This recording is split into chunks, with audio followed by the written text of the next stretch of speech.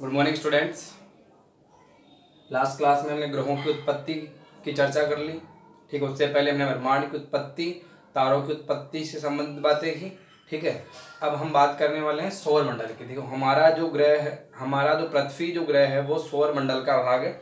ठीक है, सौर मंडल का भाग है। सौर मंडल में हम, जो हमारा तारा है सूर्य, ठीक है, सूर्य आठ ग्रह सिक्सटी थ्री प्राकृतिक उपग्रह शुद्र ग्रह धूमकेतु धूल के कण, गैसों को हम इसमें शामिल करते हैं। सौर मंडल में क्या क्या गिनते हैं हम? पूरे आठ ग्रह, सूर्य, ठीक है, सूर्य जो तारा है, ठीक है, सौर परिवार के जो भाग है, सारे आठ ग्रह और ये जो है, ठीक है, सौर मंडल की चर्चा करते हैं। सौर मंडल में प्रमुख क्या है? सूर्य तारा। इसके आठ ग्रह हैं, तिरसठ उपग्रह सिक्सटी थ्री उपग्रह हैं। ये जो प्राकृतिक उपग्रह कितने सिक्सटी थ्री ठीक है। शुद्र ग्रह, ठीक है, शुद्र ग्रह जो कहाँ पाए जाते हैं?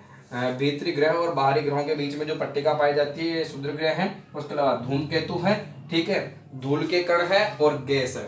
धूल के कण और गैस। इस प्रकार से हम चर्चा करते हैं, ये सौर मंडल के भाग हैं, सौर मंडल में पाए जाते हैं। सौर मंडल में जो ग्रह हैं टोटल कितने ना? आठ ग्रह हैं। सूर्य से दूर होते हुए अगर हम ग्रहों की बात करें, हमने पहले भी चर्चा कर ली थी कि सूर्य से दूर होते हुए, सूर्य से दूर होते हुए ग्रहों की अगर हम बात करें बुद्ध, शुक्र, पृथ्वी, मंगल। बुद्ध, शुक्र, पृथ्वी, मंगल, फिर शुद्र ग्रह की पट्टिका आती है बीच में। उसके बाद क्या आता है? बृहस्पति, शनि, अरुण और वरुण। बृहस्पति, शनि, अरुण और वरुण।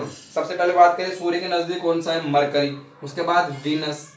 सर्वप्रथम कौन सा है? मरकरी, जिसे बुद्ध बोलते हैं। फिर है वीनस, जिसे शुक्र बोलते हैं। फिर है अर्थ, पृथ्वी। फिर है मार्स, मंगल। फिर यहाँ पे शुद्र ग्रह गए एस्टेरॉइड जिन्हें बोलते हैं। फिर बृहस्पति, जुपिटर जिसे बोलते हैं। शनि, सैटर्न बोलते हैं। अरुण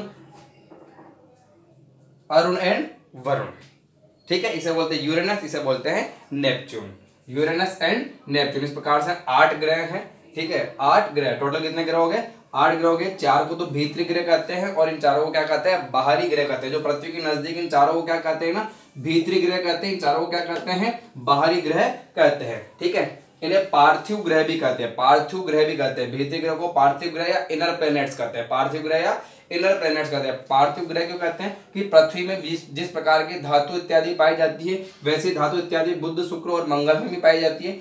इसलिए इन्हें पार्थिव ग्रह की श्रेणी में रखा जाता है, पार्थिव यानी पृथ्वी की तरह। ठीक है, इसलिए इन्हें कहा रखा जाता है? पार्थिव ग्रहों की श्रेणी में रखा जाता है। फिर हम बात करते हैं जोवियन ग्रहों की, किसकी? जोवियन ग्रहों की, इन्हें क्या कहते हैं? आउटर प्लेनेट भी कहते हैं। जोवियन ग्रहों को क्या कहते हैं? आउटर प्लेनेट भी कहते हैं। जोवियन ग्रह, ठीक है, इनमें विभिन्न प्रकार की हाइड्रोजन, हीलियम जैसी गैसें, बृहस्पति ग्रह, जुपिटर ग्रह में पाई जाती है। हाइड्रोजन, हीलियम जैसी ग्रह गैसें, हाइड्रोजन, हीलियम जैसी गैसें बृहस्पति ग्रह में पाई जाती है। ऐसी ही गैसें शनि, अरुण और वरुण में पाई जाती है, ठीक है, इसलिए जोवियन की तरह, जोवियन कैसा, बृहस्पति जो ग्रह है, जुपिटर ग्रह है जिसे जोवियन कहते हैं, ठीक है, और उसकी तरह जो ग्रह हैं सारे, उन्हें हम बाहरी ग्रहों को जोवियन ग्रहों में शामिल करते हैं। क्या कहते हैं? जोवियन ग्रह में शामिल करते हैं, बृहस्पति, शनि, अरुण और वरुण। ठीक है तो सारे जो भीतरी ग्रह है हम पार्थिव ग्रह भी कह सकते हैं और इनर प्लेनेट्स भी कह सकते हैं और जो बाहरी ग्रह है, उन्हें हम जोवियन ग्रह, बाहरी ग्रहों को हम क्या कह सकते हैं? जोवियन ग्रह और आउटर प्लेनेट ठीक है, फिर बात करते हैं भीतरी ग्रह कहा भीतरी ग्रह बने जनक तारे के समीप। जनक तारा कौन सा है? सूर्य।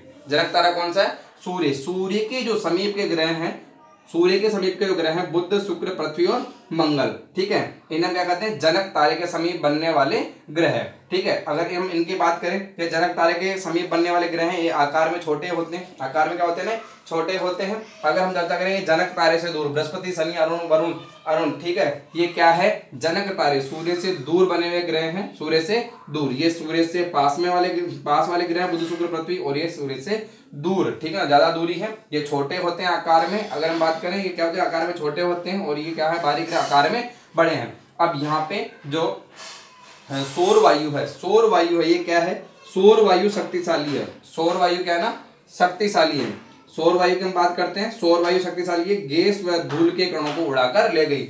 यहाँ जो सूर्य के नज़दीक वाले ग्रह सूर्य के नज़दीक वाले जो ग्रह हैं बुद्ध शुक्र, पृथ्वी और मंगल, ठीक है? यहाँ पे सौर वायु शक्तिशाली और सौर वायु क्या करती है? जो गैस है, धूल के कण है, उसको क्या करती है? इन ग्रहों पे जो गैस और धूल के कण है, उसको उड़ा ले जाती है, जिसके बाद हुई इस प्रकार से विरल ग्रह, जिसे हम पृथ्वी जैसे ग्रह की बात करते हैं, उसकी रचना होती है, ठीक है? और जो बाहरी ग्रह है, वहाँ पर सौर वायु कम शक्तिशाली होती है और वहाँ वहाँ से गैसों को नहीं हटा पाती और आज भी यहाँ पे गैसों का आवरण विद्यमान है, गैसें अधिक पाई जाती है। और इन ग्रहों के, जो भीतरी ग्रहों के छोटे होने के कारण, आकार में छोटे होने के कारण, इनका जो गुरुत्वाकर्षण शक्ति है वो कम है। इनकी गुरुत्वाकर्षण शक्ति है क्या है? कम है। और अपेक्षाकृत हम बात करें, इनकी गुरुत्वाकर्षण शक्ति बाहरी ग्रहों की गुरुत्वाकर्षण शक्ति अधिक है। बाहरी ग्रहों की गुरुत्वाकर्षण शक्ति, क्योंकि आकार में बड़े हैं, इसलिए इनकी गुरुत्वाकर्षण बल, गुरुत्वाकर्षण शक्ति भी इनकी अधिक है। ग्रहों के निर्माण की हम चर्चा करें, ग्रहों का निर्माण हुआ आज से लगभग चार अरब वर्ष पहले। ग्रहों का निर्माण कब हुआ? आज से लगभग चार पॉइंट छह अरब वर्ष पहले। ग्रहों का निर्माण होता है चार पॉइंट छह अरब वर्ष पहले। ठीक है? तो ग्रहों के निर्माण की हम चर्चा करें तो कब हुआ? चार पॉइंट छह अरब वर्ष पहले। अंतरराष्ट्रीय खगोलिक संगठन ने अगस्त 2006 में, अगस्त 2006 में प्लूटो यानी यम को क्या कर दिया गया? ग्रहों की श्रेणी से हटा दिया। 2006 से पहले हम पढ़ते थे कि टोटल ग्रह कितने थे? नौ।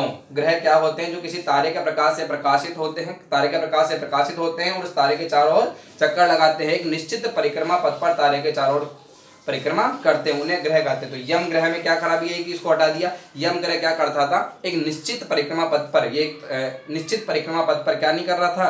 परिक्रमा नहीं कर रहा था, या दूसरे के परिक्रमा पथ को काट रहा था। ठीक है तो इसलिए इसे क्या कर दिया अंतरराष्ट्रीय खगोलिक संगठन ने अगस्त दो हज़ार छह में प्लूटो, जिसे हिंदी में बोलते हैं, यम ग्रह को क्या कर दिया?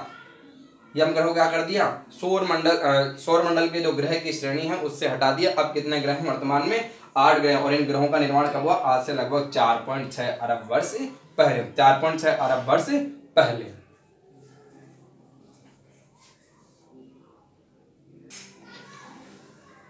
ठीक है? इस प्रकार से हमने सौर मंडल की चर्चा की। सौर मंडल में आठ ग्रह हैं, ठीक है? तिरसठ उपग्रह और शुद्र ग्रह। शुद्र ग्रह क्या होते हैं? ये जो पृथ्वी बुद्ध शुक्र, पृथ्वी, मंगल। बुद्ध शुक्र, पृथ्वी, मंगल। यहाँ ठीक है, बुद्ध, शुक्र, पृथ्वी, मंगल, इनके बीच में क्या पाई जाती है? इस प्रकार से शुद्र ग्रह की पट्टिका पाई जाती है। इनके बीच में क्या पाई जाती है ना, इस प्रकार से हम चर्चा करते हैं।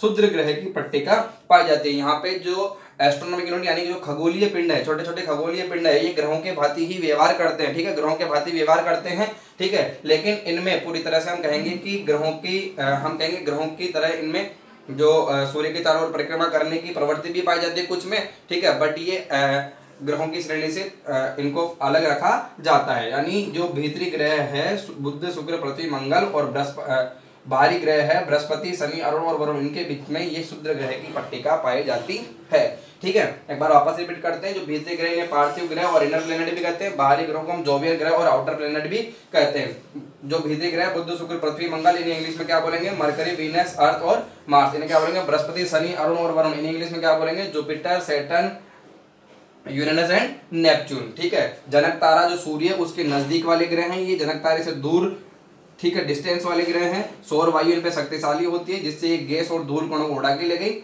और हम बात करें कि यहाँ पे सौर वायु कम शक्तिशाली थी, ठीक है? सॉरी सौर वायु कम शक्तिशाली थी, जहाँ से इसको गैसों को नहीं उड़ा लेके पाई।